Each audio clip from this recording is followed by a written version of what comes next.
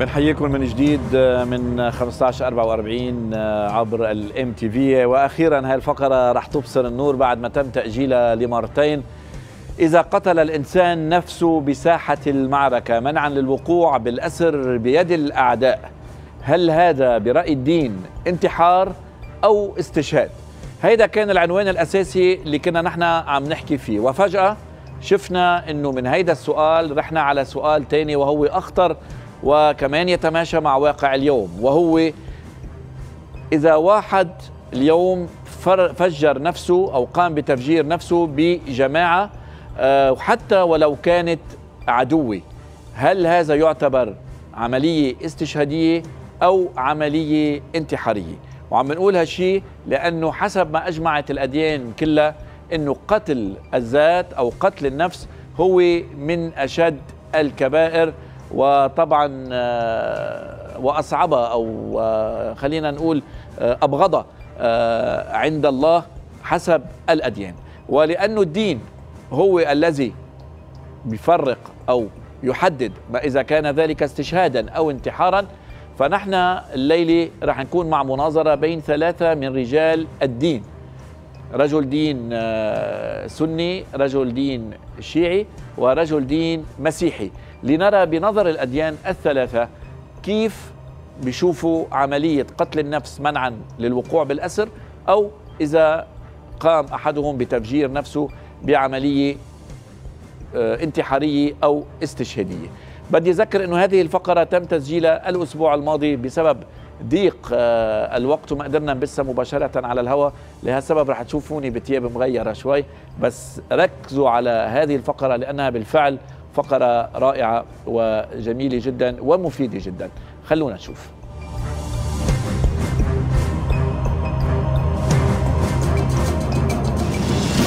كتار الزعماء والقياديين عبر التاريخ اللي وضعوا حد لحياتهم بأنفسهم قبل ما يوقعوا بالأسر بإيد أعدائهم. بينما اتهم قياديين آخرين عبر التاريخ بأنهم جبنة لأنهم هربوا من ساحة المعركة أو استسلموا لأعدائهم. بوقت كان أنصارهم بيعتبروا أنه أشرف لهم قتل نفسهم بدل الاستسلام. بالمقابل في وجهة نظر أخرى لبطل تاريخي هو عمر المختار يلي قال من البطولة ألا يموت المرء أحيانا. نحن لن نستسلم ننتصر أو نموت ولا تظن أنها النهاية يلي خلينا نرجع هالقد بالذاكرة هي الأمور اللي عم نشهدها اليوم والإعلام عم بيضوي عليها. ويمكن أبرز حادثة نقلتها وسائل الإعلام بالفترة الأخيرة تتعلق بالمقاتلة الكردية جيلان أوزال بنت 19 سنة يلي حاربت مع رفيقاتها مجموعة من عناصر داعش. حصرتهم عند أطراف بلدة كوباني فقاتلت جيلان حتى الرمق الأخير والرصاصة ما قبل الأخيرة. وبعد ما استشهدت رفيقاتها قررت ما تسلم نفسها وعرضها وكرامتها للدواعش. فاحتفظت برصاصة وحدة. أنهت فيها حياتها بنفسها. مما أثار تساؤلات كتيرة مثل العادة من مجتمعاتنا من باب الشرع والدين حول ما إذا كان اللي قامت فيه جيلان يعتبر استشهاد أو انتحار. يسعدني أن أستضيف معي في حلقة الليلة فضيلة الشيخ مالك جديدة الرئيس السابق لهيئة علماء المسلمين في لبنان ورئيس دائرة الأوقاف الإسلامية في عكار.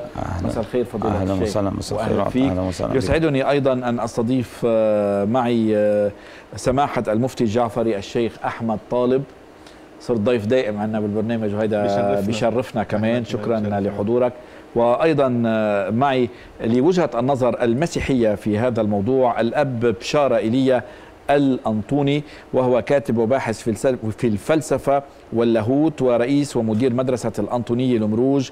آه يعني كمان بنرحب فيك. اليوم السؤال الذي يطرح نفسه هل قتل النفس في ساحة المعركة كي لا تسلم نفسك للأعداء وللعدو هل هو استشهاد أو هو انتحار وحرام؟ فضيلة الشيخ. بسم الله الرحمن الرحيم. آه، بداية لا شك آه، يعني آه، أمسي عليكم وأسلم. عليكم وعلى الحضور. حرمة النفس معروفة وأنها من الكليات الخمسة التي جاءت بها الأديان جميعا لحفظ النفس وهل الأصل المحافظة على النفس. نعم. إلا في حالات ال- الجهاد الذي هو مشروع دفاعا عن النفس دفاعا عن الوطن دفاعا عن العرض ومن مات دون يعني ماله فهو شهيد من مات دون أرضه فهو نعم. شهيد من هذا مات دون هذا إذا أهله. قتل في هذا إذا قتل عادية. في ظروف يعني في القتال نعم إذا قتل في القتال وهو يجاهد هذا العدو فلا شك أنه هذا الأمر هذا من الأمر الجائز العمليات الاستشهادية تفترق عن هذه الحالة التي ذكرتها العمليات الاستشهادية ليست هربا ليست هربا من القدر ليست هربا من آه، يعني من المواجهة ليست ضعفا ليست ما شابه ذلك وإنما آه، هذه العمليات الاستشهادية بالعكس ال- ال- المجاهد الذي آه، يقدم على العملية الاستشهاد- الاستشهادية هو قدر من قدر الله. في هذه الحالة. سنتوقف مطولا اما الموضوع. مساله أما مسألة الانتحار الحقيقة جماهير أهل العلم أنا نعم. أقول جماهير أهل العلم لأن هناك قلة من العلماء من قالوا شرطوا مثل الدكتور عجيل النجمي مثل بعض نعم. علماء الأزهر قديما آه، آه، ذكروا مسألة أنه إذا خاف فعلا أنه إذا وقع بيد العدو أنه سيلحق ضررا محققا بالجندي نعم. أو بالدولة الذي هو فيها وسيلحق معلومات وأسرار. هذا أجازوا لكن الحقيقة رأي الجماهير العلماء أنه هذا لا يجوز والنصوص الشرعية تدل على عدم جواز هذا الأمر. والنبي صلى الله عليه وسلم بين أن آه، رجلا كان في المعركة لما أصيب في المعركة أخذ سيفه فوضعه تحت خاصرته قال ثم لهم قال لهم قبل أن لما عندما سالوه عن هذا سألوا- البطل قال لهم إنه ذاهب إلى جهنم إلى النار. نعم هم ف- قالوا في الجنة وقالوا جاء أنه فتفاجأوا. جاهد فوجدوا أنه قد قد أنه قد- انتحر. قد قتل فالنبي- نفسه نعم. نعم. فلا يجوز من هذا الباب لا يجوز أن يقتل الإنسان نفسه عليه أن يجاهد إلى إلى آخر نعم. مرحلة. إذا كان الجهاد صحيحا. نحن الآن لا نعرض إلى صورة معينة مع من. ولكن نحن نقول إذا كان الجهاد صحيحا ينبغي أن يجاهد إلى آخر مرحلة وإلى آخر رمق في في حياته. يعني ما وقع فعلته أسيرا جيلان ال- الكردية اليوم في في نظر الشرع يعني في نظر الرأي العام يعتبر عملا بطوليا جبارا. في نظر الشرع يعتبر انتحارا وحراما نعم هذا رأي جماهير أهل العلم وإن كانت هي كما قلنا هناك رأي من أهل العلم من ظن إذا كانت هي تظن هذا الباب ودخلت على هذا الظن قد يكون هذا الأمر يعني لها عذرا. آه، أذهب إلى حضرة الأبونا. الله يخليك. آه، اليوم آه، في الإسلام قتل النفس هو من أكبر الكبائر ومن أشد الكبائر و- وأشده عقوبة عند الله. آه، في المسيحية. صحيح الشيء متفقين نحن والمسلمين على هذا الموضوع. نعم. قتل النفس على طول هو حرام. ولكن رصاصة الرحمة مثل ما سميتها هي ما بين الانتحار وموت الرحيم. يعني هربا من العذاب اللي بده ياخذوني عليه الأعداء. اهرب من هيدا العذاب هي موت الرحيم واللي بدينه الكنيسة بالدينه. بدينه الكنيسة نعم. والانتحار بدينه الكنيسة ولكن نحن لا نقول إنه هذا الشخص ذهب إلى جهنم لأنه قدام رحمة الله قبل المجمع الفاتيكاني الثاني كانت الكنيسة تعتبر اللي بينتحر أم اللي بيقتل حاله قصدا هو خارج إطار الكنيسة ما كانوا يصلوا عليه. رافض رحمة الله ما كانوا يصلوا عليه. كان ما كنا نصلي ولا عليه. يدفن. ولا يدفن نعم. أما اليوم بنقول إنه هو أشد وأكثر الأشخاص اللي بحاجة للصلاة ورحمة الله طيب أنا آه، يعني آه، انت منفوت بالموضوع ال- آه، يعني آه، نروح عن موضوعنا. الموضوع الأساسي اليوم الأساس آه، هو جندي جندي مسيحي آه، في الجيش. صحيح. بأي جيش؟ انوضع بموقف إنه هو سيوقع بال... رح يوقع بال... بالأسر بأيدي الأعداء ويمتلك من الأسرار ما قد يسيء إلى دولته وإلى جيشه وإلى أصدقائه وإلى زملائه. فالخيار الوحيد له إنه يقتل نفسه لخلاص الآخرين. هل هيدا بتعتبروه كمان حرام وبتعتبروه لكن نحن عم نحكي بحرب لا أخلاقية. منا حرب نظامية بين دولة ودولة أخرى. إذا بدولة بين دول عليه إنه يسلم حاله ويشهد لمسيحيته. وأنا إذا بكون محل هذا الشخص المقاتل أنا بقلب الأسر بشهد لمسيحيتي ولحب الله مثل كتار من الشهداء. ولكن إذا موته بيعطي الخلاص للآخرين بيكون عم يمشي ولو كانت الطريقة الأخلاقية ضمن المعمعه الكبيره من الحرب بيكون عم يتمثل بشخص المسيح نعم. اللي أعطى نفسه فداء للآخرين. وحتى طيب فلسفيا يعني حتى أنا أنا بدي فلسفيا أعرف كنسيا ولاهوتيا كيف نوصف هذه الحالة؟ يعني الدين المسيحي قائم على أنه السيد المسيح تجسد وصلب ومات من أجل خلاص البشرية. صحيح. أوكي؟ نحن اليوم كدين مسيحي نعتبر أن من يقتل آه، من يقتل نفسه كي لا يقع في الأسر أو لإنقاذ الآخرين نحن بنعتبره عمل بطولة وعمل بتعتبروه عمل بطولة؟ عمل بطولة إذا عم تفدي حالك للآخرين لتخلص الآخرين نحن ما بنروح استشهاديين إنما نحن بنستشهد من أجل الآخرين. بحرب أسر هذا الشخص قد يؤدي به إلى العذاب وإلى أفشاء أسرار آه، المس... المسيحية بتحاكم على الدي... على النية. يسوع يحكم على النوايا. فإذا كانت نية هذا الشخص هي سليمة الله حيدينه والله حيرحمه والله حيساعده. وإذا كانت يعني- نيته هروب من الألم لما يعذبوا فيه صار هروب صار موت الرحيم. إذا كان يأس هو انتحار. لنرى لنرى عند سماحة المفتي طالب. بسم الله الرحمن الرحيم. بالمبدأ الشيء اللي ذكره سماحة الشيخ واللي ذكره أبونا هو حفظ النفس هو من الأمور اللي آه، أجمعت عليها الأديان. وعلى الإنسان أن يحفظ نفسه من الموت ومن الهلاك حتى ولو بالأمور غير المشروعة. يعني لو كان الإنسان اليوم في حالة خطر من الموت وينقذه من الخطر أن يأكل المحرم أن يأكل الميته أو أن نعم. يشرب ال- الحرام فعليه أن يأكل من الميته ليحفظ نفسه وعليه أن يبذل جهده بأي وسيلة من الوسائل لحفظ النفس. هذا أساس. أنا أريد أن أقول أن الأصل وجوب حفظ النفس بأي وسيلة من الوسائل. لكن فيما لو كان حفظ النفس هو آه، أساس فيما لو لم يتعارض مع ما هو أهم منه. بمعنى أنه نحن لو آه، تزاحم الأمر بين حفظ النفس وحفظ الأمة بين حفظ الن- النفس وحفظ الجماعة بين حفظ النفس وحفظ الدولة التي أنت تؤمن بشرعيتها. في هذا المجال نحن نعتبر أنه يقدم الأهم على المهم. يعني فلذلك يحق نحن نقول للإنسان إنه- إنه أن يقتل نفسه؟ الإنسان أن الإنسان الذي يمتلك أسرار ومعلومات من شأنها أن تؤثر على سلامة الجماعة وعلى سلامة الأمة نعم. وعلى سما- سلامة الناس لو أفشى؟ بها يحق له أن يقدم نفسه شهيدا في هذا المجال من أجل حفظ الأمة ومن أجل حفظ لأنه الجماعة سئل بس هو سئل هل هل يقتل نفسه؟ هل يقتل نفسه هذا السؤال يقتل نفسه السؤال- نعم نعم. نعم يستطيع أن يقتل سئل- نفسه سئل- من أجل حفظ آه، الجماعة وحفظ الأمة يعني بي يمكن بالخمسينات إذا ماني غلطان ب 53 أو 8 وهذا رأي جماهير العلماء أنه بال لا يقتل 56 بال 56 تحديدا بمصر سئل سئل آه، شيخ الأزهر كان وقتها حسن مأمون ومفتي الديار المصرية آه، ونظرا لتلاصق الجيشين المصري والإس وال- والإسرائيلي جنبا إلى جنب بمسافات قريبة. واضح. كان وارد بأي لحظة أنه الإسرائيلي ممكن أن يأسر آه، جنود آه، مصريين. مصريين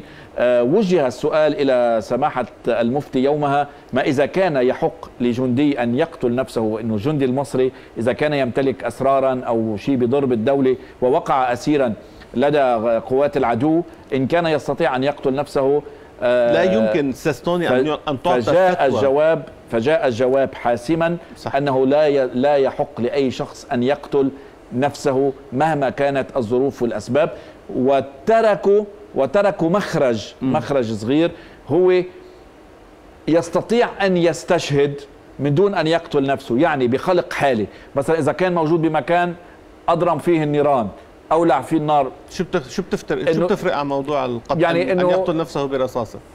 أنا أقول بالمبدأ أو يهرب من الموجودين بطريقة التنظير. يجبر الآخر أن يطلق النار عليه هذا هذا هو عمل. استشهادي وهو أسلوب من أساليب القتل هلا إحنا ما عم نحكي عن أساليب القتل كيف تتم نحن نقول بالمبدأ أنه حفظ النفس هو أساس ولكن لو تزاحم حفظ النفس مع حفظ الجماعة حفظ النفس مع حفظ الأمة حفظ النفس مع حفظ الدولة حفظ النفس مع حفظ ال ال الكيان أنت في هذه الحالة كيف يمكن أن لا تعطي رخصة لإنسان يمتلك معلومات سرية لو أفشى بها ممكن أن يسيء لأمة بكامل بكاملها. الشرع نحن بالنسبة هذا. لنا كاجتهاد يعني لا يوجد لا حديث لا يوجد لا حديث آه اجتهادات نحن ولكن لا يوجد لا حديث ولا آه سيستوني ولا لا, لا يمكن. أن يتم هناك اجتهاد من دون وجود أحاديث ولكن هناك أحاديث مطلقة وأحاديث عامة وآيات قرآنية عامة وهناك. آيات مقيدة وأحاديث مقيدة. يمكن أنت أن تستنبط من خلال الجمع نعم. نعم. بين الأحاديث. هذا فن اجتهادي. أنا أقول حينما نقول أن لكل قاعدة استثناء حتى في الفقه الشرعي. اليوم أنت أستاذ لو قلت لك لا سمح الله لو تعرض أنت لو, لو, لو كان حماية أسرتك حماية يتوقف على قتل نفسك. ألا تعتبر أن الشرع الذي يريد أن يمنعك من منع أسرتك من الموت بسبب قتل نفسك أن هذا شرع غير عادل؟ حضرتك. قلت في مسألة النصوص نعم أن النصوص الشرعية تقول كذا والاجتهاد يقول كذا أنا أقول أن العلماء الذين قالوا وهم قلة من أهل السنة يعني يعد على الأصابع أنه يجوز في حالة أنه وجد أنه ممكن لو ألقي به في الأسر أنه ممكن أن يضر أمة بحالها ويؤدي إلى إلى هزيمة هذه الأمة ونكالها أنه ممكن ممكن هو أن يقتل نفسه هؤلاء. قلة هذا اجتهاد قليل يعني هذا ليس. نصا هذا اجتهادا لا لا من لا أين أين أخذ أخذوا؟ يعتمد على نص من أين أخذوه؟ الحقيقة النص الصريح الذي ذكرناه أن النبي صلى الله عليه وسلم نهى و- وبين خلصت. ولكن ولكن العلماء هؤلاء من أين أخذوا؟ أخذوا من قواعد شرعية ما هي القواعد الشرعية؟ ارتكاب أخف الضررين وأهون الشرين نعم في أخف الضررين إما أن يقتل هو وإما أن تباد أمته مثلا. فأيهما؟ فاختاروا من باب أخف الضررين هذا اجتهاد بعض أهل العلم. نحن لسنا مع هذا الاجتهاد مع أنه أن يبقى صامدا صابرا وأن يحتسب يعني في هذا الأمر. كيف لكن وهذا- يعني وهذا شيخنا، كيف تبررون العمليات الاستشهادية؟ عفوا عفوا. الاستشهادية بدي اساله عن تفترق. العمليات لحظة قبل ما نفوت شو بتفترق؟ بالموضوع لأنه في شغلة مهمة. ستفترق جدا. آه، أبونا ال- يعني آه، ما قال ما قاله آه، فضيلة الشيخ و- وسماحة المفتي هو يعني عفوا على على المقاربة ولكن هو نفس الذي قيل من قبل اليهود والفريسيين عندما صلبوا المسيح عندما قالوا من الأفضل أن يهلك شخص على أن تهلك أمة صحيح. يعني هني وقت صلبوا المسيح باعتبار صحيح. إنه خلينا نخلص والإنجيل اعتبرها نبوءة. أحسن ما يخ- آه، يأثر على هلاك الام لا في ككل القياس مع الفارق آه ما هذا لا. في مختلف كتير قياس مختلف. هن عم يقتلوا الهادي حتى يتركوا الضلال نحن عم نقول يقتل الإنسان من أجل إفشاء الهداية وليس نعم. من أجل حفظ طيب حفظ السؤال الناس الأهم حضرتك قلت إنه هذا لا ينطبق على الجهاد وعلى العمليات الاستشهادية طبعاً. يعني اليوم الإنسان اللي بيقود سيارة مفخخة وبيفجرها س- سيأتي معنا الفارق وسط مدنيين أو وسط نعم. حتى العدو هل هو استشهادي أو هو منتحر لا هو استشهادي ليه؟ قولا واحدا وسيأتي الأمر الفرق الفارق واضح هنا.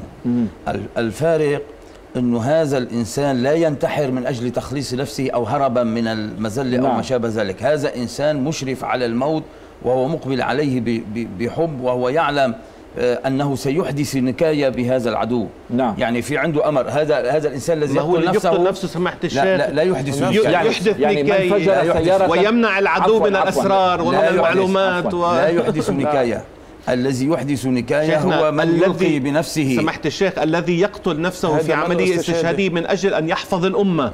يحدث. نكاية ليهزم هذا حتى حتى يحفظ الأمة. النصوص فرقت بين هذا وهذا. المط... النصوص فرقت بين هذا وهذا.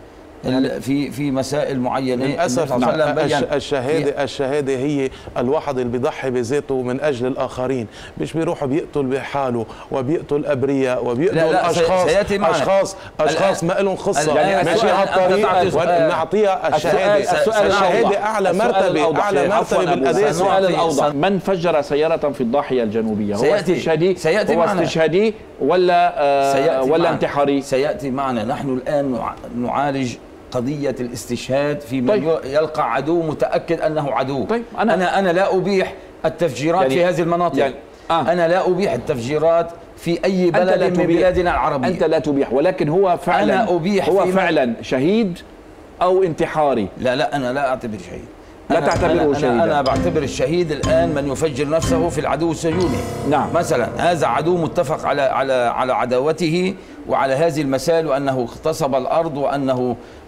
ال- الأهل وأنه آه، ارتكب مجازر وأنه إلى آخره هذا الأمر بشرط عندنا شروط في في هذه المسائل اولا نحن في هذه المسائل إذا كان المجتمع مدني يجب أن لا يكون التفجير في المجت- المجتمع المدني لأن النبي صلى الله عليه وسلم نهى عن قتل حتى لو كان يهودي وعن قتل حتى لو كان يهودي إلا إلا إذا كانوا لا، لا. اولاده اطفال ونسوان. يهوديين استثني استثني الأطفال. بس لأنه استثني آه، الأطفال لأن الأطفال لهم أمر خاص أما المرأة التي تكون جنرال في الجيش والتي تخطط والتي ت... هذا نعم. هذا لا يمكن أن تقاس على الطفل. طيب بس سماحه المفتي. في فرق آه، بين بين, أنت مع تفجير مع تفجير كعمليات استشهادية في العدو؟ كلها أستاذ طوني تصب في هذا القاعدة اللي قلت لك إياها أنه نحن الق- القتال والقتل والحرب نعم. كلها الهدف منها إيجاد السلام وإيجاد السلامة للعدد الأكبر. بغ- بغض, واصل واصل. بغض النظر. أنا, أنا. لا لا تم- تمن حور وندور. لا، لا. السؤال الواضح. شخص من الشيعيه يجوز.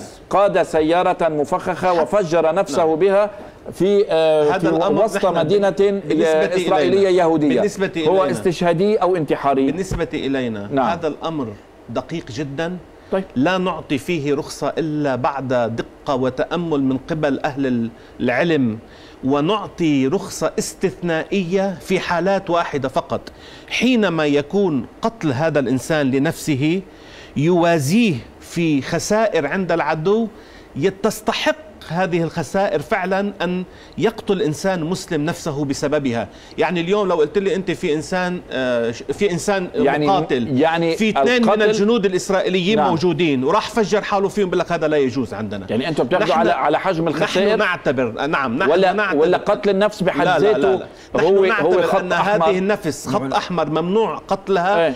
إلا بما يمكن أن يقابلها من مصلحة عليا تؤدي إلى النصر نعم. أو إلى إذلال العدو بمعنى أن تكون الخسارة فعلا تستحق أمامها أن يقتل الإنسان نفسه الشيخ. أبونا أنا بس أنا بدي أسألك سؤال يعني خلينا ناخذ الأمور بشكل تصويري تصويري مشهدي هيك داعش تقتحم الموصل المدينة المسيحية والكل عرف شو صار عندما دخلت داعش إلى الموصل قام شاب مسيحي من الموصل بقيادة سيارة مفخخة وهاجم فيها داعش قبل آه، دخولها الموصل خوفا على سبي نسائهم أو قتل الأبرياء أو وكذا هل هو انتحاري هو دفاع أو شهيد الدفاع عن النفس الدفاع عن النفس هو محلل محلل. اليوم يعني أنتم بتحللوا له يعني. نحن إيه، الدفاع عم عن النفس بتلومن. إيه، آه. الدفاع عن النفس. دفاع لا أنا ما بروح بقتل حالي أنا الشهيد هو؟ الشهيد المسيحي أنا ما بروح لا أقتل حالي ليقتلوني أنا إذا بدي اكون شهيد بالكنيسة مسيحي إيه، ارتفع أعلى مرتبة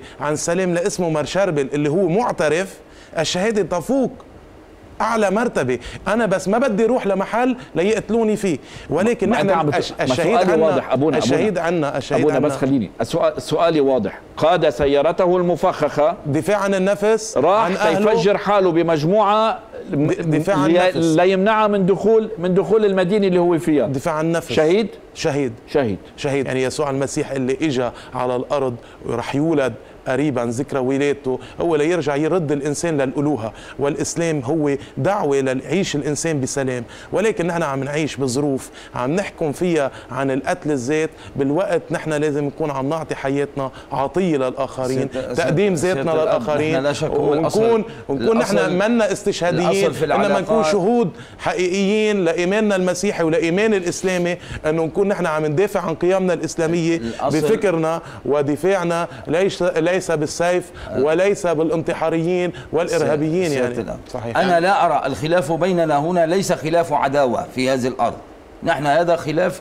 تنوع خلاف حوار خلاف ممكن خلاف ذلك. من باب آخر و... أيوة ولكن لا شهادة- ندخل شهادة في من باب هذا آخر. لذلك أنا لا أجيز هذه العمليات في البلاد العربية أخيرة سماحة المطلوب المطلوب نختم. الحال نحن لما عم نحكي عن موضوع ال- ال- ال- الاستشهاد والقتل عم نحكي فيما لو حصلت المعركة دائما القاعدة هي من باب الدفاع عن النفس صحيح. والا لا يوجد صحيح. دين يقر ابتداء الحرب وابتداء القتال صحيح. وليس القتال هو أساس في الأديان صحيح. لكن نحن نحاول أن ننظر لمسألة هي حدثت ونحاول أن نعطي نعم. فيها لها شرعية أو لا نحن نقول أنه الأصل في الأديان أن لا يكون هناك قت- قتال السلام هو الأساس ولكننا في واقع لا نستطيع أن نهرب منه أن هناك معارك تحصل علينا أن نعرف حدود آه، العلاقة مع المعركة أنه يجب على الإنسان أن يحرص على نفسه أن يحافظ على نفسه إلا فيما لو كان حفظ النفس عنده أولى منه وهو حفظ نعم. الأمة أو حفظ المجتمع. سماحة المفتي الشيخ أحمد طالب فضيلة الشيخ مالك آه، جديدة وحضرة الأب بشارة إيليا الأنطوني شكرا لكم على هذا الحوار وهذه المناقشة. ما هو التالي ونتابع